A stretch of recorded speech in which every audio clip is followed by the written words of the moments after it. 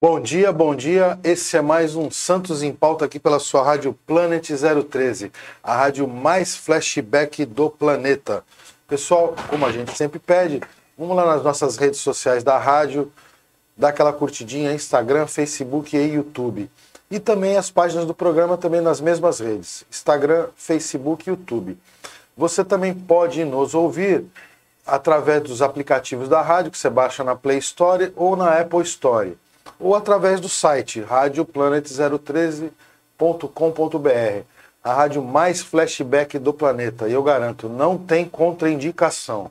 Pessoal, hoje a gente está recebendo aqui o Wellington Silva, que ele é vereador lá na Praia Grande. Ele vai falar inicialmente um pouquinho dele. Vamos lá. Bom dia, Wellington, tudo bom? Bom dia, Alexandre, bom dia a todos os internautas, né, os telespectadores aí do mundo inteiro, né? Exatamente. É isso aí, é um prazer poder participar do programa Santos em Pauta, poder aí conversar um pouco aí com todo mundo, tirar as dúvidas em relação à região e sobretudo o trabalho que a gente vem desempenhando lá na nossa, na, lá na nossa querida Praia Grande. Ô, ô Wellington, é... na semana passada a gente conversou rapidamente você jogou no Santos, foi isso? É isso mesmo, joguei no Santos, né? Parte da minha vida, na verdade, 17 anos eu, eu joguei futebol profissionalmente. Iniciei a minha carreira aqui no glorioso é, Santos Futebol Clube, lá em. Eu iniciei em 89, aí fiquei ligado ao Santos até 95 quando nós fomos vice-campeões brasileiros naquela, naquela fatídica tarde contra o Botafogo. Eu estava naquele jogo lá. Inesquecível. Inesquecível, né? Bom, se bem que, por mim, os dois perdiam. O palmeirense. por mim não, por mim não. claro. É, talvez a vida de todo mundo ali talvez teria tomado outros caminhos. Ah, né? sem dúvida. É, sem obviamente dúvida. que a gente não pode reclamar, que a gente conseguiu dar sequência nas nossas vidas aí como atleta, né? Uhum. Mas ali seria realmente um marco na vida de todo mundo. Era uma equipe jovem na Sim, época, eu né? lembro, eu lembro. Então provavelmente teriam tomado os rumos diferentes. Mas tá bom, não podemos reclamar também não. Mas, não, mas não, não dá para deixar de reconhecer que É uma baita de uma sacanagem. Ah, eu, eu até, eu até brinco sempre, né, Alexandre? Eu falo assim, ó. Por que, que demoraram tanto para inventar o VAR? É. Porque se o VAR tivesse existido naquela época, com certeza aquele gol do Túlio seria anulado. né? Sem dúvida, mas, mas também hoje ainda há uma batição de cabeça com o VAR. Com né? certeza, tá em, fase, tá, em, tá em fase de ajustes, fase de ajustes. Mas, Wellington, fala, fala um pouquinho de você, como é que você entrou nesse mundo político aí, como é, como, como é que se iniciou tudo isso? Inicialmente, aí depois a gente fala, Sim, da, tua- sim, fala sim. da tua candidatura e das tuas ações. né? Perfeito, perfeito. É, bom, como eu disse, eu joguei futebol profissional durante muito tempo, né? É, depois disso, eu iniciei, comecei a fazer uma faculdade de direito, hoje eu sou advogado. É, enquanto eu fazia a faculdade, nós começamos a militar na política da minha cidade, na Praia Grande, né? Porque eu era, era amigo de um, de um candidato a prefeito, que foi candidato lá em 2008, logo quando eu parei de jogar futebol profissional, eu fui ajudá-lo na parte política. E a Janaína Balares, que é a minha esposa, ela, como já era advogada, foi atuar na parte jurídica daquela campanha lá em 2008. E assim nós entramos eh, na política, de uma maneira muito de maneira voluntária, tropeçando, porque a gente não entendia nada da política, né? mas a gente tinha muita força de vontade de poder ajudar. E assim nós entramos na política. A Janaína teve uma atuação forte naquela, naquela eleição é, fez um processo de cassação do atual prefeito, chegou a caçar o prefeito e por isso ela ganhou muita notoriedade. E aí, com muita competência, foi galgando degrau a degrau e em 2012 é, se candidatou a vereadora e ganhou. E eu, como estava fazendo a faculdade de Direito, comecei a dar suporte para ela. E aí o que eu fiz durante todos esse an- desses anos, atuando como advogado, é, dando consultoria para atletas, e aí nos bastidores do mandato da Janaína, ajudando no que a gente podia. E aí passou-se dois mandatos, a Janaína sempre desenvolvendo um bom trabalho. E em 2020, no ano passado, Janaína se candidatou a prefeita da nossa cidade e eu me candidatei a vereador. Tivemos êxito na eleição, ganhamos e agora estamos lá fazendo o possível para poder representar muito bem eh, a população de Praia Grande. É, Praia Grande tem uma ca- característica bem parecida com o Santos, né? Parece que só dá um partido, né? Só dá um grupo político. Ou eu estou enganado? Não, é verdade, é verdade. É, eu, eu sempre falo que eu não, não, não faço parte daquele grupo do quanto pior, melhor. Pelo contrário. Nem A nós. gente, a gente eu, eu faço parte daquele grupo que quer ver a cidade crescer, quer ver a cidade progredir. Entretanto, Alexandre e vocês todos que nos assistem. Na cidade de Praia Grande, é, pelo fato das pessoas estarem muito tempo no poder, as pessoas se acham donas é, da máquina pública. Fazem da máquina pública a empresa privada.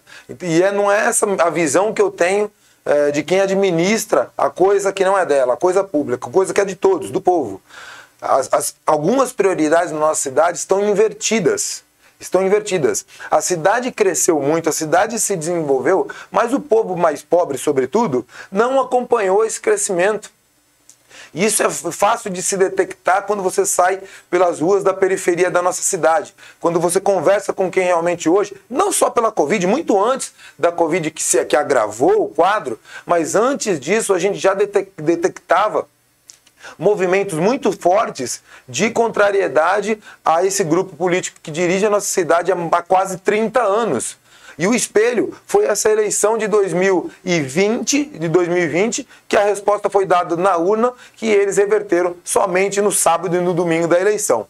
Então, é, Alexandre e todos vocês que nos assistem, é essa a política que a gente quer fazer. Uma política desempenhando a minha função como vereador, fiscalizando sem perseguir. Eu não, não, quero perseguir ninguém. Eu quero fiscalizar simplesmente. Em que pese algumas pessoas não entendam porque estão acostumadas com um outro tipo de atuação de vereador, ou atuação de assistencialismo, que em alguns momentos eu não nem critico porque é, cada um faz com o seu salário o que quiser. Mas eu entendo que a função principal do vereador é fiscalizar. Ah, sem dúvida, né? E, e, e, a gente, a gente é, é, é a favor também da oxigenação de de ideias, alternância no poder, porque é justamente a alternância traz oxigenação de ideias e oxigenação de ações também, né? É verdade. Você ficar à mercê de um grupo político só é uma coisa bem complicada. Isso acontece em Santos também. Acontecia também aí na, na nossa cidade vizinha, que é São Vicente. A gente teve uma quebra agora, né? É, a gente não está aqui falando mal de um político ou outro, uhum. acho que todos tiveram seus, as suas boas ações e tem as ações que são criticáveis também. É. Esse é o grande problema, que as pessoas não querem receber críticas, né? É, é, é o, o, político tem essa tendência de ser vaidoso Essa vaidade, demais, né? a vaidade. Mas ninguém, mas ninguém é perfeito. Ninguém é perfeito, nem nós, ninguém é perfeito, né? Tem que receber a crítica, assimilar e melhorar a cada dia. É, exatamente, é o que a população espera, né? É e realmente você falou uma coisa que você tem total razão a, a, área periférica da Praia Grande é um negócio bem complicado, né? A, a, gente vê que você tem demandas ali, você tem regiões ali bem, bem, bem pobres e empobrecidas de verdade, né? Sim, isso. Eu sempre eu tenho é, aquecido esse debate da questão da periferia da nossa cidade, porque as, quando você anda pela Praia Grande, aí você você fala, poxa, Praia Grande cresceu porque você vê asfalto na periferia, né? Você vê asfalto lá. Mas o, o, crescimento, o desenvolvimento, ele não se baseia só em asfalto. Sobretudo quando é um asfalto sem saneamento básico. É. Porque o político ele não faz o saneamento básico porque ele não pode inaugurar, ele não pode colocar placa. Então essa discussão que a gente tem feito, que o desenvolvimento de um povo, ele se baseia na geração de emprego, geração de oportunidade, fazer com que as pessoas consigam melhorar de vida. Não só jogar o asfalto. Jogar o asfalto é muito legal que a pessoa para Sim, de pisar na lama quando ela sai da casa dela, e a nossa cidade tinha muito esse problema, ainda tem algumas partes, mas já avançamos muito, viu? É, no ano passado foram investidos mais de 70 milhões de reais em asfalto. Também é outra coisa que eu critico em alguns momentos, porque trocaram asfaltos que não precisavam trocar, trocaram asfalto por pedrinha. Eu falo muito isso lá, né? Trocaram, trocaram pedrinha por asfalto, mas eu não vou nem é, abordar esse tema aqui. O que eu gostaria mesmo de deixar é, claro e para que sirva de reflexão para todo mundo é a questão do que é um desenvolvimento de um povo. Desenvolvimento de um povo é isso. Como eu disse, fazer o povo estudar mais, fazer o povo se capacitar, gerar oportunidades, trazer oportunidades para que esse povo possa aproveitar, trabalhar, ganhar o seu salário e pagar suas contas. É, a... quem conhece a Praia Grande, se você falar é, regiões como Canto do Forte e tudo, até a Avenida da Praia é muito bonita, é, mas quem vai realmente para aquela periferia, né? Da, da, como se fala, a Praia Grande são duas Praia Grandes praticamente, né? Como a gente é. fala Santos também, eu divido Santos de, do morro para a praia e do morro pro, e do morro para o morro, do morro uhum. para a serra, né? Sim. É um negócio complicado. É, existe. A, a zona noroeste aqui em Santos também é bem, tem esse- essa característica, né? Só que numa proporção bem menor. É, é uma verdade. proporção bem menor. Na Praia Grande, a- o que divide a Praia Grande, vamos colocar entre aspas, é a pista, né? É, a via expressa, a que, já não é, expressa. que já não é tão expressa mais, né? É, é, já é. baixaram para 60 por hora, daqui a pouco tá andando a 40, né? É, é, da Via Expressa para a Serra, realmente você tem regiões ali extremamente carentes, né? Sim, muito carentes, né? Como eu disse, as pessoas às vezes elas podem passar hoje pelos bairros periféricos e podem se enganar. Sim. Por conta do asfalto que está no chão. É, não, a gente vê que Né? são, vias asfaltadas. É isso, tudo, né? na, na sua grande maioria É, asfaltadas. mas você anda, é, mas- você anda pela cidade e você vê as pessoas sentadas na calçada, sentadas é, no boteco tomando, é, tomando uma biritinha, Aham. porque na verdade não tem oportunidade. Não adianta a gente aqui falar que as pessoas não querem trabalhar. As pessoas não trabalham porque elas não têm oportunidade. Então é isso, é, e não é só uma responsabilidade de quem está no governo hoje, é uma responsabilidade de todos, É, da sociedade de todos, da sociedade de uma maneira geral.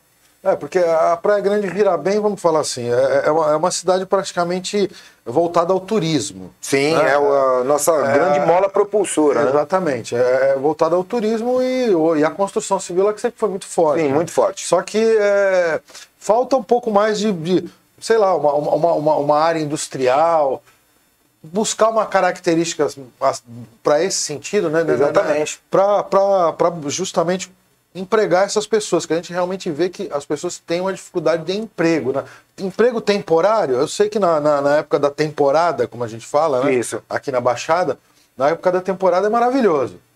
Passou o carnaval, Passou o carnaval, acabou, é isso aí. o cara fica desempregado praticamente o resto É, do ano o resto inteiro. do ano inteiro, é verdade. Porque julho é muito. é, já não é aquela... Muito curtinho e bem, bem pouco, né? Bem pouco. Porque as pessoas, é, como a nossa característica da região, é uma característica de, própria de, de praia, então é, as pessoas vêm muito para cá no calor. Sim. né, no calor. E, na minha opinião, nós, deveria, nós deveríamos é, aproveitar esse viés do turismo e trazer realmente, fomentar é, o mercado nesse sentido. Para aproveitar o talento das- dos artistas da nossa, das nossas cidades e fazer com que essas pessoas produzam e ganhem dinheiro com seu próprio, com seu próprio trabalho. É, também, né?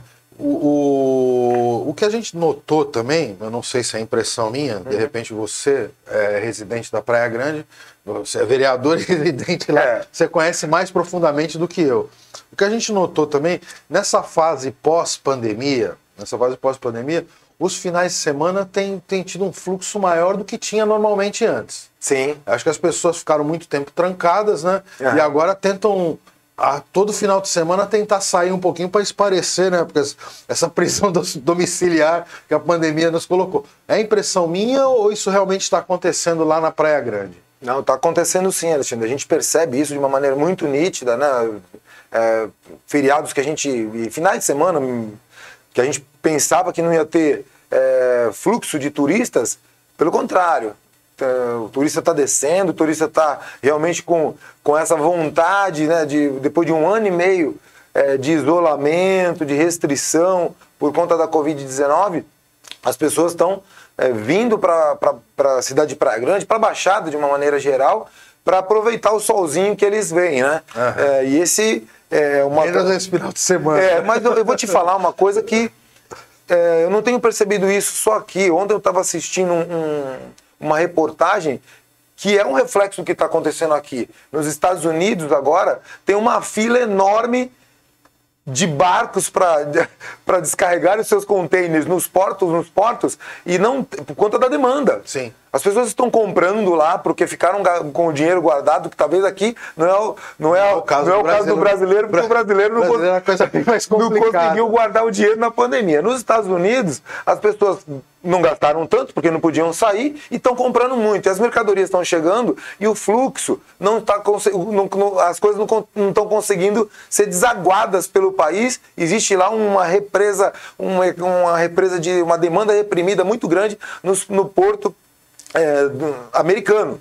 E é mais ou menos o que está acontecendo aqui, salvo o dinheiro no bolso. Que o povo tá, aqui no Brasil tá, o povo está sem o dinheiro no bolso. Mas isso é, é algo realmente que está acontecendo muito na Praia Grande. E aí a gente vê finais de semana atrás de finais de semana, Alexandre. É, isso, isso de certa forma colabora com a, com a, com a relação do trabalho, né? Sim, pessoas, Mas, sim. de qualquer forma, continua sendo um trabalho temporário, porque o empresário que está que tá estabelecido na Praia Grande, ele não tem a segurança de uma contratação é, a longo prazo, né? Sim, não, infelizmente não, por conta dessa característica de veraneio, né? Uhum. É, na nossa cidade, como eu disse, a gente precisa encontrar uma forma, sem perder a condição de distância balneária, de atrair empresas, de, de atrair é, o grande empregador, né, que são as médias e grandes é, indústrias não poluentes, para que o nosso povo possa, possa ter mais oportunidade. A grande é, o grande sonho de todos nós era a chegada do aeroporto na cidade de Praia Grande. É, ia tocar nesse assunto. Né? Que, então a gente vai debater talvez com mais profundidade mais adiante, mas era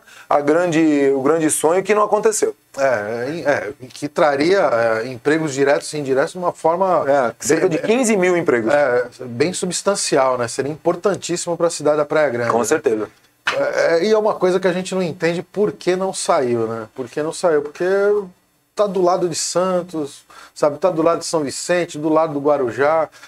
É, e, a região realmente precisa, né? Precisa, né? todos nós queremos ainda. Não é algo que não vai mais acontecer, mas voltou a estaca zero por conta de licenças ambientais. As pessoas que, a meu ver, é, salvo engano, salvo o melhor juízo, as que estavam tocando o processo de instalação desse aeroporto atropelaram um pouco a questão das licenças ambientais e até mesmo negociação de possíveis proprietários de pequenos lotes que tinham dentro do conglomerado. Uhum. Então esse atropelo dessas pessoas que estavam tocando no processo atrapalhou bastante e aí a justiça é, e ao meu ver fez bem, ah, é, caçou as licenças, fazendo voltar a estaca zero. Porque não é porque tá, eu, não, eu sou a favor do desenvolvimento, mas sou a favor do desenvolvimento sustentável e responsável. Sim, não a qualquer custo. Não, não, ninguém quer depredar coisa nenhuma. É, se, o meio ambiente não, é, é, o meio ambiente é importante, sobretudo para nós que temos manguezais, temos ah. áreas que precisam ser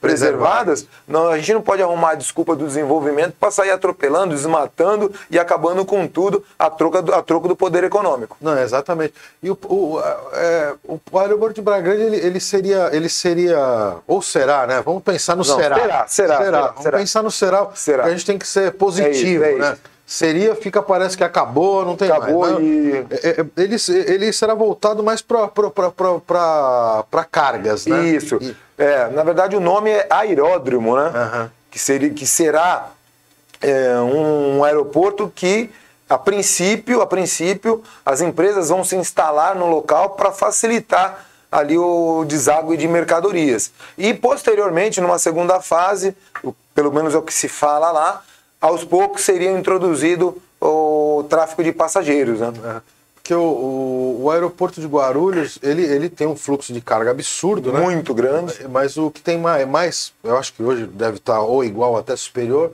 é Viracopos em Campinas, que ele realmente ele tem um. Ele, ele é um aeroporto até bem maior que Guarulhos, né? Sim. E com uma pista gigantesca. E, e, ele também tem mais, ele tem mais essa característica de carga, né? De carga. De carga é é, então, mas tem, tem, esse mito, porque tem muitos voos é, particulares ali, sim, né? Então... Sim, sim, não, E voos comerciais. comerciais o Viracopos também tem voos comerciais, tanto nacionais como, como, como, como internacionais. Mas a característica de carga é importante. Para a nossa, nossa região, isso aí seria maravilhoso. A gente torce para que essa, essa, essa celeuma, as pessoas consigam colocar em ordem. Sim. E e para a grande poder desenvolver. Para a grande né? toda a região, né? É, é, porque o que a gente tem percebido também, que a gente Opa. tem é, muitos amigos corretores de imóveis, desculpa, é que o fluxo de moradores, de pessoas que moravam em São Paulo, da pandemia para cá, muita gente tem migrado para Praia Grande. Sim. Sabe? E algumas pessoas vêm, vêm para trabalhar em home office mesmo. Outras vêm por questão é, financeira, porque São Paulo, a cidade de São Paulo, morar em São Paulo está cada vez mais caro. Sim. É. Eu percebi é, isso também, viu, Alexandre? É, meio de semana, é, a gente que vive lá todos os dias e a gente passa pela praia ali, a gente percebe quando, quando acontece uma mudança, né? Aham. E eu percebo que a praia às vezes está mais cheia até meio de semana. Entendi. E provavelmente é por conta disso. As pessoas estão trabalhando em home office na cidade. Sim. Eu não tenho dúvida disso, que a característica do trabalho moderno eh, foi antecipada. Não Sim. tenha dúvida disso. Então, ah, por isso que a gente vê que o mercado imobiliário, não sei aqui em Santos, mas na Praia Grande, não diminuiu, continuou. Continua aquecido, as pessoas ganhando dinheiro. Então, por conta disso, as pessoas desceram, pra porque hoje se trabalha muito é, em casa, né? Exato, muito mais fácil, né? E aí eu tenho uma história curiosa, Alexandre. Da minha casa, eu, eu tenho um, um apartamento lá na, na Praia Grande, né? Moro em apartamento, então construíram um prédio muito grande na minha na frente, a uns 50 metros. E eu vejo, e por, não que eu seja o cara que fica bisbolhotando na vida das pessoas, mas eu, tenho, eu, eu sempre percebo, eu sou um cara muito observador. Então, eu olho as coisas, consigo ter um entendimento bem do, do- da, da, da, da- A visão espacial, periférica, a né? visão espacial. E tem uma família, tem um casal, na verdade, que mora em frente, que eu vejo eles todos os dias, o dia inteiro, dentro de casa, na frente do computador. E aí eu fiquei olhando já, eu fico, mas, mas muito tempo mesmo. Então ali é um espelho do que está acontecendo. As pessoas estão trabalhando em casa. Exato. né? Então é isso que a gente precisa entender. Você que está nos ouvindo, você que está nos assistindo, tenha que ficar atento a essa, a essa mudança do mercado. Se capacitar na medida do possível. A gente sabe que as oportunidades são poucas, como a gente falou no início, mas nós temos que tentar se inserir de qualquer maneira no que está por vir. É, a, a, pandemia ela antecipou em alguns anos. Em alguns anos, coisas. né? É, porque isso seria uma tendência. Uma tendência futurística, Estados- né? Nos Estados Unidos já, já, já vinha acontecendo, acontecendo. devagarinho, né?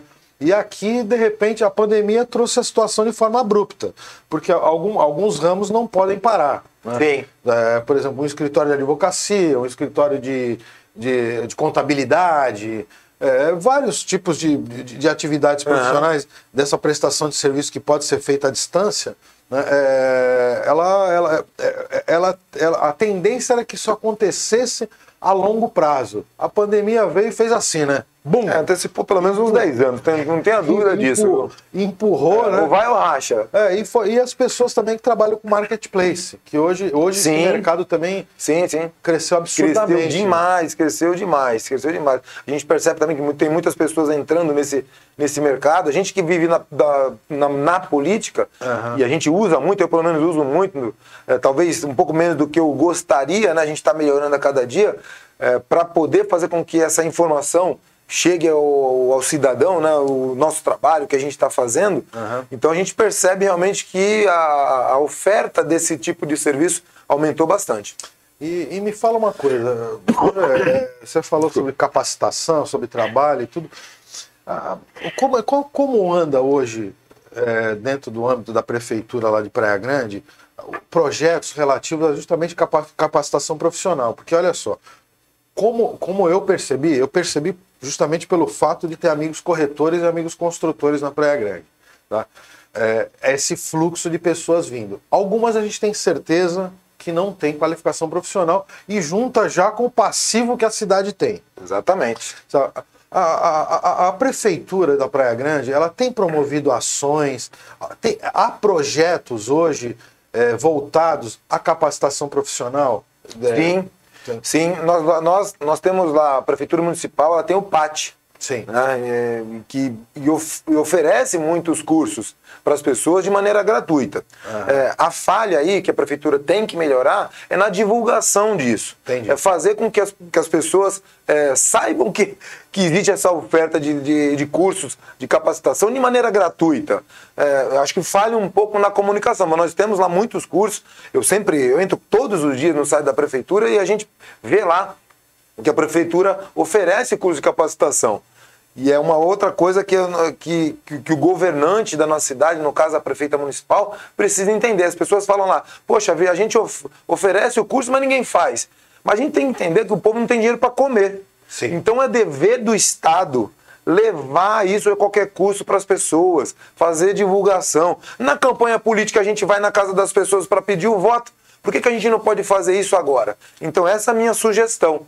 É, então nós temos sim curso, o que precisa realmente é fazer com que isso chegue lá na ponta. É, porque é, é, a gente coloca como, é, principal, é, é fundamental, é, é, básico, né? Que, que as pessoas tenham trabalho, né? Trabalho, trabalho. Sabe, e, e sem capacitação nenhuma, né? A gente uhum. sabe que a, a, muita gente acaba, acaba saindo cedo da, da escola e tudo e acaba... A evasão escolar... É, é, é, é grande, né? E, aí, e sem trabalho vai, você vai crescer a criminalidade, você vai crescer um monte de coisas desagradáveis que nenhum de nós quer, nem na Praia Grande, nem em Santos, em lugar nenhum. Em né? lugar nenhum, né? E é... que é um outro problema, viu, Alexandre, nessa questão da evasão escolar. Agora, nessa pandemia, todos sabem que o reflexo desse déficit educacional que nós vamos carregar nas costas é, vai se estender por muitos anos, por sem muitos dúvida, anos. Então as prefeituras, é, na, no que compete a ela, que é um ensino fundamental, precisam investir ainda mais para que isso se, seja compensado. Porque essas crianças, esses jovens que tão, vão carregar e vão carregar, vai, vai, não há dúvida que vão carregar esse déficit habitacional, precisa ser feito algo. E aí esse algo que a gente precisa fazer é muito simples. Óbvio que custa, não é de graça, não. mas não há outra solução. Exato. É, como eu falei no início, as prioridades precisam ser invertidas. O que a gente precisa investir agora é em gente. É. O orçamento da prefeitura para o ano que vem nós vamos discutir agora nos próximos meses, nas próximas semanas lá na Câmara Municipal, vai saltar de 1 bilhão e 600 milhões para 2 bilhões e 21 milhões de reais. Então, dinheiro tem em caixa, o que a gente precisa fazer é atacar as prioridades. E a educação, ao meu ver, é uma delas. É, porque se você colocar, levar em consideração que essas, principalmente as crianças que estavam na fase de alfabetização, ou estariam entrando na Sim. fase de alfabetização, elas estão com aí de um ano e meio a dois, dois anos não, né? Vamos exagerar chegando a dois anos, mas um ano e meio de crianças de, de uma faixa etária afetada que vai fazer muita, muita diferença lá na frente. É. São dois anos, Alexandre. A gente já pode falar dois é, anos é. porque a pandemia começou, eu lembro como se fosse hoje, foi no dia 16 de março do ano passado, quando foi decretado é, para que as pessoas não, não, não, não, fizessem mais eventos, as, as é. aulas já começassem já a serem restritas. Então já estamos no final, já estamos no final do ano. Então nós perdemos dois anos, né? Então é algo que o governante precisa fazer e priorizar. É, e, e, me fala uma coisa, também uma curiosidade que a gente não acompanhou isso direito, mas a gente com certeza a gente deve acredita que deve ter tido alguma falha nesse sentido. E aqui a gente pergunta de falhas não numa situação, não, não num, num, numa visão predatória, tá? Sim. A gente não tem aqui uma uma, uma característica de, de oposição predatória. De perseguição. Ou de, ou de crítica é, é predatória. Não é, é isso, não confundir é, uma coisa com a outra. Não é crítica predatória. É, qual, é, qual foi a ação da prefeitura com relação a justamente essas crianças? As aulas online, elas funcionaram? Te, te, teve, porque isso, isso, a gente passou por essa pandemia agora e pode acontecer de novo. Uhum. Né? Sim, pode acontecer. A gente, a gente tem Espera que. A gente mas... tem, não, é óbvio. óbvio pelo né? amor de Deus. É, não dá nem para falar que alguém pelo amor isso. De Deus. Mas a, eu acho que os governos têm que estar preparados para, num futuro, é, possivelmente, uma coisa dessa ruim de novo acontecer. Houveram falhas nessa situação da, das aulas online? O que faltou nesse sentido? Ou se foi legal? É, o que pode melhorar no que foi feito? Ó, eu, eu, eu entendo até, até só desculpa Não, te interromper. Pode ficar até, até para a gente minimizar esse futuro provável prejuízo se que preparar, pode... né, se preparar, tá. com certeza, vai, vai, se vai, preparar. Eu entendo que é, o professor se dedicou muito. Eu tenho muitos amigos professores que eu conversava com eles de maneira é, semanal para entender também, né? Porque eu não sou da área, então você conversa com quem sabe para poder, sim, sim. poder opinar. E eu entendo que os professores se dedicaram muito, as crianças também se dedicaram na medida possível, mas muitas delas não tinham dinheiro para bancar o pacote de internet. Entendi. Então é aí que foi o grande problema. Precisava se ter investido em tecnologia, é, de para isso mesmo, para que as pessoas tivessem acesso à internet para poder ter o óbvio que era acesso às aulas online. Uhum. E isso não foi feito. E se foi feito, foi feito de uma maneira deficitária. E aí se refletiu realmente, sobretudo nessa faixa é, escolar que você falou, com 6, 7 anos de idade que, que é a pior faixa, que é a faixa que, onde a criança está se alfabetizando uhum. e aí está ali na casa dela. Você acha mesmo que uma mãe vai ter condições de ficar o tempo inteiro ali é, atenta à lição, à preparação? É, já, Algumas mães é, não sabem, é, não tem nem preparação para isso. É, já tem esse problema. Já né? tem da, esse da problema. Própria, da, da, própria falta, da, da, às vezes, da estrutura familiar e da, e da, capacidade da. Do... Então, foi, ao meu ver, essa foi a, uma das falhas em toda essa questão de, de educação. A falta de investimento para que as pessoas pudessem ter acesso à internet. É, porque ah, eu acho que o, o, os governantes têm que começar a discutir esse tipo de coisa, porque se acontecer de novo, para a gente não ter é, problemas futuros, é, né? Futuros, né? Sermos, sermos pegos de surpresa como fomos. É, é, não foi só o Brasil, obviamente, mas o mundo inteiro, mas a gente precisa se preparar. Desculpe. E não só por isso, viu, Alexandre?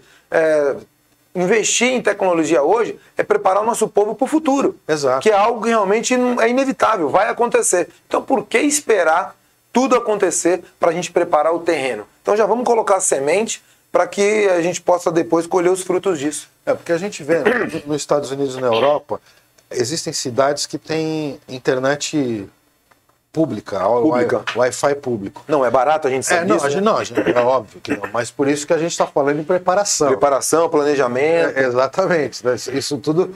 Tá. É, e, e há formas também de você disponibilizar essa internet e restringir Sim. o uso. Né? Sim, com certeza. Restringir o uso. Você tem, hoje, hoje a informática faz tudo faz tudo. Então, se você, se você estabelece um serviço de internet onde você, numa fase dessa, restringe o uso a, a, a determinadas. A, a determinados é, sites, a determinados serviços da internet, sabe? Porque você, é, a partir do momento que você coloca uma internet pública, as pessoas podem eventualmente querer acessar qualquer coisa. Sim. Né? Mas numa fase que, que um, vai, um lockdown novo que aconteça, você tem que canalizar isso para a educação, né? Sim. Pra educação é... e a informação, o serviço e informação. Com certeza, Alexandre. Você, lá, e a, a, gente vai falar, vou até, você me deu a oportunidade de poder falar um pouco de um ano atrás. A Janaína falava muito disso. Uma das propostas de governo nossa, da Janaína Balares, era você instalar antenas de internet nas escolas com raio de alcance. Entendi. e com restrição de acesso. Eu não sabia disso. É, e eu estou te falando porque era uma das propostas. São, e eram 77 antenas que nós iríamos instalar. Nós não, né? Não, o sim. governo de Janaína Balares ia instalar. E isso ia ter um raio de, de, de alcance dessa internet e com restrição de acesso a vários sites. E seria uma internet disponibilizada de maneira gratuita para o povo, para que ele pudesse acessar, sobretudo, esse é, as aulas online. É, eu, eu, eu, a minha, minha, minha preocupação é exatamente isso. É o conteúdo educacional. Conteúdo educacional. Entendeu? Não é. Você quer entrar em qualquer. Quer, quer se divertir, você vai fazer. Você paga coisa. com o teu dinheiro. Você paga com o seu dinheiro. Não com o dinheiro Mas público. É, exatamente. O, o, conteúdo educacional é que é, é, o principal, né? Porque a gente pega uma. A, a, a preocupação com a, com, a, com a infância é um negócio no meu caso, né? Sim. No meu caso, falando especificamente, é, é, fundamental. A gente vê, a gente vê crianças realmente. Eu tenho amigos professores, eles, eles, já, eles, eles já relatam outros tipos de problemas emocionais que as crianças hoje têm, hoje têm, né? Antecipadamente, né? Uhum. Antecipadamente. E agora, ainda com déficit educacional, vai piorar tudo, né? Então, a, a gente quer prever lá na frente para isso aconteça. Sabe, né? eu estou conversando contigo aqui, eu já estou pensando amanhã. Amanhã é sessão na Câmara, né? E você conversando contigo aqui, você, sem saber, você já está me dando algumas ideias para apresentar agora de, de proposta em relação à educação, né? É. É, eu todos, não sei se você sabe ou se quem está nos assistindo e ouvindo sabe, eu sou do PL, o PL é um partido que tem muita inserção no Ministério da Educação e eu vou propor amanhã se surgiu aqui na nossa conversa, para que a gente possa fazer realmente uma ponte com o Ministério da Educação para saber o que a Prefeitura Municipal de Praia Grande tem como ideia para poder recuperar esse déficit habitacional, esse déficit educacional que já está já incutido na mente das nossas crianças. É, aqui, aqui é bom porque é o seguinte, a gente, a gente brinca, isso aqui não, não nunca vai ser uma entrevista com ninguém, não é com você, não é com ninguém. É um bate-papo. É um bate-papo é de isso, ideias. É, né? de ideias. Por, por, a gente erra, a gente. É, aqui, aqui é exatamente isso, é bate-papo. E, e dentro da conversa. A gente é, vai colocando as nossas. Vai colocando as nossas ideias, é, né? Porque, ideias, nossas, porque, nossos pensamentos. Exatamente. Ninguém, ninguém é o é senhor absoluto de coisa nenhuma. Com né? certeza. Né? Só, com cara, certeza. só para quem acredita é. em Deus, né? O Deus sim, mas nós não, né? Sim. Então, é, debatendo ideias, até a gente às vezes recebe umas críticas. Pô, mas você vai trazer fulano, você vai trazer ciclano. Eu falei, mas qual é o problema?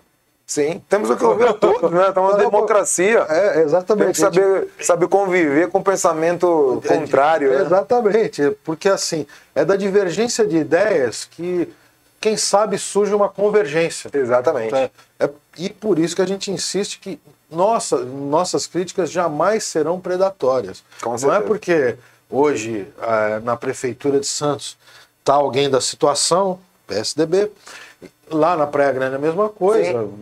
É, eu votei, eu sempre votei no PSDB, já, já votei no PSDB. Uhum. Hoje a gente faz parte de, de um outro partido, né, Sim, sim. que é o PSD. Mas é, o PSDB também fez coisas boas, né? Sim, com Também certeza. boas, mas a gente também e a gente está aqui. Não, pra- também não tinha ficado, que o povo também não é bobo, né? É, exatamente. É, mas aquela coisa que uma a roseira às vezes precisa ser sacudida para que as folhas podres caiam. Exatamente. É, tem algumas folhas que elas têm que cair É. mesmo. né? Então, é, e outra coisa que a gente viu, a Praia Grande, nos últimos anos, deu uma investida no esporte também, né? Você vem do esporte. Sim.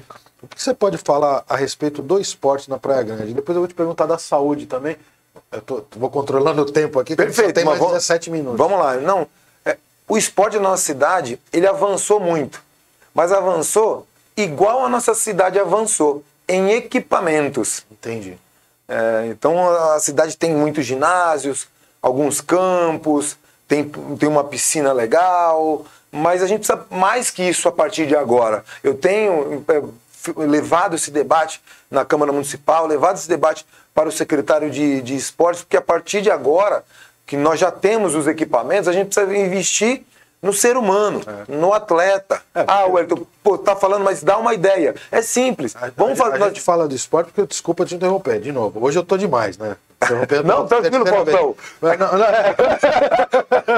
É, E eu não, não- não é comum eu interromper, não. Eu Não, é falo, eu falo do esporte por causa da, da- da inclusão social. Exatamente. Traz... Vai, vai lá. Vai eu, lá. ia, eu ia chegar nisso. Vamos lá. Então a gente, a gente é, entende que a partir de agora a nossa cidade precisa investir nas pessoas, gerar oportunidade para que o atleta, sobretudo quando ele está saindo do, do ensino fundamental, do ensino médio, que ele quer já fazer uma faculdade, ele vai embora da nossa cidade porque a nossa cidade não tem, tem, não tem ou tem poucos convênios com faculdades, que seria uma, uma forma de segurar esses atletas no nosso município. E investir mais na formação de atletas. Eu estou te falando isso justamente por conta desse ponto que você disse. Eu sou um fruto do esporte. Sim. Eu não joguei futebol porque eu sou o melhor de todos. Eu joguei futebol porque eu tive oportunidade. Então é isso que a gente precisa gerar. A gente precisa gerar oportunidade. Então a palavra-chave é essa. Eu também acredito muito no, no esporte como ferramenta de inclusão social. Falei muito isso quando visitei as pessoas na campanha eleitoral e venho falando isso agora também no meu mandato. E por que não pode aparecer um melhor do mundo lá na Praia Grande? Por que não, né? Por que não? né? Não, não. Veja bem, é, O Neymar já morou lá. Sim. O Neymar já morou lá. A gente torce para que nesse final de carreira dele ele consiga dar uma, uma esticada, né? Torço de verdade para que isso aconteça e ele brigue mais uma ou duas vezes aí para pelo menos uma vez ser o melhor do mundo, porque Aham. bola para isso ele tem. a bola tem. É, Tô falando isso porque o Neymar morou na Praia Grande também, né? ele, só tinha que des- ele só tinha que deixar de ser um pouquinho menos chato, né? É. Menos mimizento. Mas, mas faz parte da característica dele. É, n- não é um ser humano do mal. Isso é o que importa. Entendeu? E é muito bom de bola. É muito bom de bola. É. E é palmeirense. É, palmeirense? Não sabia. Não sabia.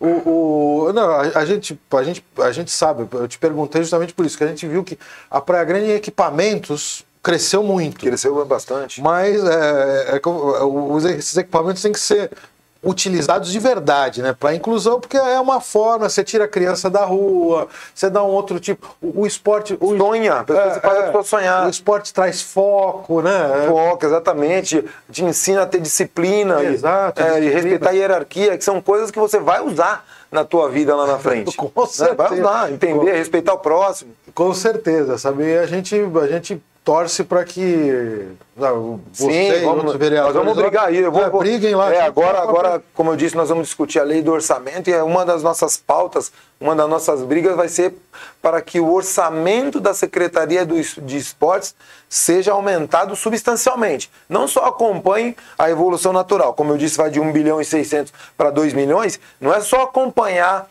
essa, esse reajuste natural. Precisa ser investido mais. Aham. Reajuste real mesmo, né? Entendi. Como o salário dos funcionários públicos, que que não é só dar os 9% que, vão, que vai ser concedido em janeiro. É dar os 9% em janeiro e lá para março, abril, conceder aumento real. Eu, não- eu ia fazer uma provocação aqui. Vamos lá, pode falar. Estamos aqui para responder e falar. Uh, 9%, 9% para o funcionalismo e 45% para a Câmara. 9,32% exatamente, né? E 45% para a Câmara, né? Realmente. Não, eu, eu não estou dizendo que o vereador não tem que ter o salário. Sim. Mas, mas eu acho que é desproporcional para o momento. É, Alexandre, olha, eu, eu, é, É uma... eu vou falar uma Eu- coisa para você. sincero, eu tô sendo Eu vou sincero falar uma coisa para você. Olha, eu vou falar uma coisa para você. Eu votei contra esse aumento de. Ah, não sabia. É, eu votei contra, por isso que eu fico muito tranquilo de, de falar isso para você. É, fui até criticado por alguns vereadores e, na verdade, eu. O que, que eu penso disso? Eu não sou hipócrita. Não sou hipócrita. Eu preciso de dinheiro, eu preciso pagar minhas contas. Todos Eu precisamos. não posso. E eu, eu vou te falar muito claramente que eu não posso ser vereador de graça. Não, porque eu trabalho ninguém tá bastante. falando isso, Não, ninguém deixa tá eu te falar. isso. Que eu trabalho bastante. Eu dedico muito do meu tempo para vereança e eu preciso receber para isso. Sim. Mas o salário que eu ganho dá para eu tocar minha vida. Dá para eu tocar minha vida. A discussão que eu fiz com os vereadores é que esse não era o momento de falar de aumento de, de salário e nem de concessão de vantagens como férias e décimo terceiro. Sim. Eu votei contra, eu fui um dos únicos que votou contra essa proposta por ter essa visão. Por ter essa visão. Porque esse não era o momento de se falar nisso. É. Eu fui criticado na sessão passada pelo presidente da Câmara por ter falado isso. Ele não falou o meu nome, mas eu sei que era para mim. Eu sei que era para mim. Eu tenho direito de votar contra. Sim. Sobretudo porque é uma- um anseio de toda a população. Se você andar nas esquinas, se você andar nas esquinas da Praia Grande, não sou só eu que estou falando isso. Aham. Que esse, esse aumento, nesse momento, foi um absurdo. É. A cidade inteira, na verdade, a poder- região inteira está falando desse aumento. É. Se quisesse falar de aumento, falasse mais para frente, quando a economia tivesse melhor, quando o povo tivesse já se recuperado do que está passando na pandemia. Talvez esse aumento de 45% lá na frente, em 2025, para que é quando vai valer, que também não é para agora, diga-se Aham. de passagem, mas mesmo assim você deveria, deveria ter sido discutido isso lá na frente. Sim. Porque quando você está falando de aumento de salário, se você falar talvez de um aumento de 20, 25%, que fosse vigorar a partir de 2025, não seria um absurdo, porque você vai acompanhar a inflação até lá. Mas mesmo assim, no momento, não deveria se falar nisso. Deveríamos ter esperado um momento adequado, que a sociedade tivesse se recuperado do que. Se recuperado, não, né? É, é, é, exatamente, tivesse se recuperado, que não se recuperou. Sim, então é. eu votei contra esse aumento por conta desses motivos, viu, Alexandre? Por entender que esse não era o momento de se falar nisso, não era o momento de, de, de dar vantagem para quem é pago pelo povo. Sim. Para quem é pago pelo povo. Porque- então eu fico muito tranquilo, muito à povo- vontade de falar. Porque o povo nesse momento tá. Tá passando apertado, passando. tá passando apertado, cheio de boleto na mesa. É, e é uma discussão que, de certa forma, o preço da- da- dos combustíveis tem trazido, né? A, a- a absurda carga tributária que, que, que nós. Você é tão povo quanto eu. Você, Lógico, você- lógico. você- Paga imposto como todo mundo. É, é, você, você hoje está na vereança, mas é, estar vereador não é ser vereador. Não, né? é momentâneo. É, é momentâneo. Um ano já foi. Exata, É, exatamente. um ano já foi.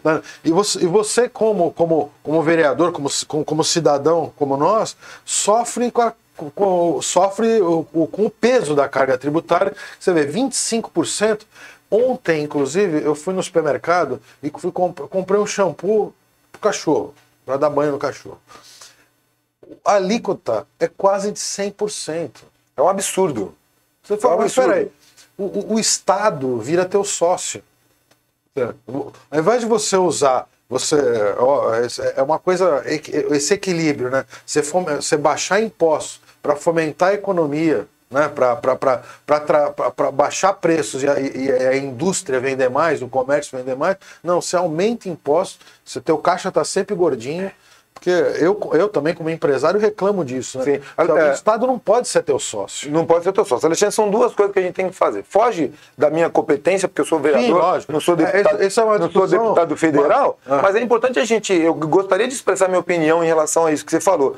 São duas coisas que tem que fazer. Ou você baixa imposto para fomentar a economia, ou você pode aumentar o imposto, mas você tem que rever o pacto federativo. Porque aí vem mais dinheiro para o município e o município presta um serviço melhor de qualidade para quem vive lá, para quem paga imposto na terra. Mas, uma, mas o maior vilão dos impostos, cara, é, é com certeza é o ICMS. Não, você vê que ó, no- no- em relação ao combustível no Rio de Janeiro é 34%. Ou seja, o, o, o governo estadual do Rio de Janeiro e provavelmente o governo estadual de São Paulo, eles ganham mais sobre o combustível do que a própria Petrobras. É, eu, de verdade, eu, tenho, eu, eu divido um pouco de você em relação a isso, é, como o, ICMS ser o vilão do aumento da, um da dos, gasolina. é um- é um- não, não, dos, não, mas não, durante, não, não, um não dos, estou mas, dizendo é, é um dos vilões. Mas na É média, na é média, agora- o grande vilão é o, a- o dólar e o Não, mercado internacional. dúvida, eu não estou dizendo que é o não adianta nem apontar. Óbvio que o presidente da República tem responsabilidade, mas ele não é o culpado disso. Não, o culpado é a- é a crise mundial que está assolando todos nós. Não, né? Eu não estou dizendo que o, o- óbvio que o ICMS, os impostos não são os- não, não é o, Não é o único, né? único Não é. culpado. É um conjunto de que, coisas, né? Começou a se chamar atenção. Sim. As pessoas pa- passaram a prestar um pouco mais de atenção. tentar. Quem é o responsável por, por- como diz na, na rua, né? Quem é o responsável por essa bagaça, por esse problema? Porque- Que- porque- porque que está afetando o bolso de todo mundo de maneira muito direta. Como é o arroz que saltou de, um- É, uma hora para outra. 40 reais, de 15 para 30. É. A gasolina era 4, tá 7. Então Mas isso você, você percebe, porque o aumento da gasolina reflete em toda a cadeia produtiva. O duro é que, por exemplo, a gente tem, a gente tem é, é, impostos quase né, a níveis de Reino Unido e, e, e os países nórdicos, né, Sim. os países do, do, do, do- norte da Europa. É, é, mas com serviços precários. Sim. né? Porque se você, o imposto de renda na- no Reino Unido é muito mais alto que aqui. No, Alemanha, Suécia, Suíça, Noruega, Finlândia, são todos impostos mais caros que o nosso. Muito inclusive imposto de renda. Eu morei na Espanha, lá se pagava mais de 40% de imposto. É, é, só que o serviço é, dif- é diferente, né? Aqui, Diferente, aqui- aqui- aqui se cobra muito e se oferece pouco. Pouco, exatamente. É nesse sentido É a lógica que invertida. É, que as pessoas têm. ó, a- o preço da gasolina, do combustível, começou a fazer as pessoas, as pessoas prestarem atenção. Pô, mas peraí. Vamos ver o que nós estamos pagando. É, né? vamos Isso é muito importante o povo saber disso. Ô, a gente, ô, Wellington, a gente está nos seis minutos finais. Eu queria que você me desse um. um- um- vai, próximos resumo dois da minutos saúde lá Da saúde. O como é que foi essa pandemia? O que, que aconteceu? A gente, a gente ouviu alguns problemas. Manda, manda ver. Então, lá na, vou falar um pouco do, do, do, do meu município, Praia Grande, não, né? não, não, do teu município, Sim, a gente, município. a gente enfrentou é, de uma maneira muito aguerrida, sobretudo os profissionais de saúde, né? Hoje aproveito até para desejar feliz dia do médico, que é um profissional que realmente enfrentou de maneira muito corajosa toda essa pandemia. Mas no nosso município houve enfrentamento, houve, a gente detectou vários problemas, compras de materiais superfaturados, é, mas é difícil quando você não tem controle, né? O orçamento foi muito flexibilizado na pandemia, então abriu-se é, oportunidade para aquela para o mau caráter, para o desonesto. E a gente, e o, o Estado ficou refém. Já é refém, ficou mais ainda. No nosso município nós temos um problema muito sério, que nós temos lá a SPDM, que é uma OS que gerencia três equipamentos de saúde no nosso município. O Hospital Irmão Dulce, é, o AMI e, e o Nefro, que é o centro de nefrologia lá. Então ela leva nesse pacote todo 12 milhões de reais por mês para gerenciar só esses três equipamentos. O resto do orçamento vai todo para to, todas as USAFs, para pagar os funcionários. Então você imagine só a matemática que tem que ser feita. E, e, eu não sou totalmente contra essa dinâmica que é desenvolvida em relação a essa. O grande problema é a fiscalização que é muito precária por conta dela e por conta da prefeita, no nosso caso, que passa pano que fecha os olhos para os desmandos, desmandos da SPDM. Eles colocam lá no site deles só a função e o salário dos funcionários que eles contratam sem ter nenhum tipo de controle é, da Câmara Municipal. Não coloca o nome das pessoas. Então você não sabe se existe aquele funcionário. São 3 milhões e meio de salário por mês que eles pagam que a gente não sabe para quem vai. Pô, Well, você está falando, mas o que, que você fez para resolver o problema? Eu já apresentei um projeto de lei para que isso, para que a SPDM seja obrigada a incluir os nomes, está em, tá em tramitação na Câmara e já provoquei também o Ministério Público para que intervenha nessa situação, porque ele é o, fiscal da lei, ele é o Ministério Público, tem obrigação de poder nos ajudar a obrigar a SPDM a cumprir a função dela. Então a gente tem feito isso. O grande problema da cidade é esse. O outro problema, e para finalizar aí, que a gente tem pouco tempo, a gente tinha muita coisa para falar, é justamente a falta de investimento na base. Na, apesar que na nossa cidade, como de, com o exemplo do esporte, tem muito equipamento, mas, por exemplo, nós temos lá dois terços é, dos médicos que a, gente, que a gente precisava. Nós precisávamos lá de 60 médicos, por exemplo, na pediatria, nós temos 40. Entendi. É, muitas coisas lá faltam, coisas básicas. Cadeira confortável para o médico sentar, que ele fica o plantão inteiro. É, e alguns medicamentos bases, básicos são alguns exemplos que eu detectei numa visita que eu fiz semana passada é, no pronto-socorro do Quietude e a gente também vai apresentar um trabalho em relação a isso amanhã. Então, a saúde do município é, é de regular. Sabe a impressão que eu tenho para finalizar, Alexandre? É que o, o administrador lá, sobretudo esse grupo que administra a nossa cidade, eles pensam assim: vamos manter o nível da nossa saúde regular, regular, não vamos melhorar, vamos manter regular, porque a gente tem sido eleito a dessa forma, para que, que a gente vai melhorar? O povo não reclama, para que, que eu vou melhorar? Apesar que o nosso povo tem reclamado muito, é. tem reclamado muito, mas a impressão que eu tenho é esse. Então, a nossa missão também como vereador vai ser essa nos próximos três anos. Eles não, é, não gostam da gente, mas vão ter que aguentar pelo menos nos próximos três anos. Ah, faz parte, né? Faz parte. Bom, e aqui fica de qualquer forma. É, tá claro que o Wellington faz parte da oposição ao, ao, ao governo eu prefiro, atual. Eu prefiro dizer que eu sou independente, que eu possa, que eu tenho, eu tenho, eu, eu tenho a prerrogativa de falar o que eu quiser na Câmara sem ser pressionado por prefeito, por secretário, nem por, nem por líder de governo. Eu quero ter esse tipo de independência na Câmara. Ou então vamos colocar lá, independente. É isso aí. É. Não pode ser oposição também, não, que eu não tenho não, problema. Não, não, mas a gente está lá para fazer o nosso papel. A, a oposição não sendo predatória. Isso. Tá maravilha. Tá maravilha. É isso. Eu sempre vou insistir, sou contra a posição predatória. Isso eu não vou compactuar jamais. É, é, fica aqui o convite da situação. A gente tem Sim. convidado algumas pessoas lá da Praia Grande, só que a gente tem uma certa dificuldade. Normalmente a situação ela, ela, ela, ela não quer ser ouvida. Porque... Se bem que em Santos a gente não está tendo muito esse problema. Já, já recebemos secretários aqui, essa semana vamos receber secretário de Educação. A gente. É é, ninguém aqui é maltratado, desrespeitado, é lógico. de forma alguma. É, é, mas a gente quer conhecer os trabalhos, né? quer conhecer o que está acontecendo.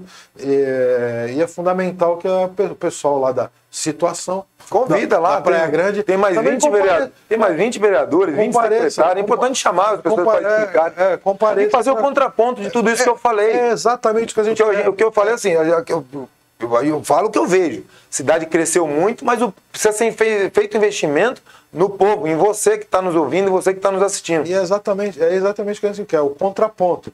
Porque a nossa entrevista está gravada. Daqui amanhã eu vou te cobrar. É isso, exatamente, exatamente. Isso e, mas cobrar de forma educada. Lógico, é isso aí. Pessoal, esse foi o Wellington Wellington Silva. Wellington Silva. É, vereador lá na Praia Grande. A gente, Wellington, a gente te agradece muito pelo bate-papo, você esclareceu. Tem muita coisa ainda para conversar. Muita coisa para falar, né?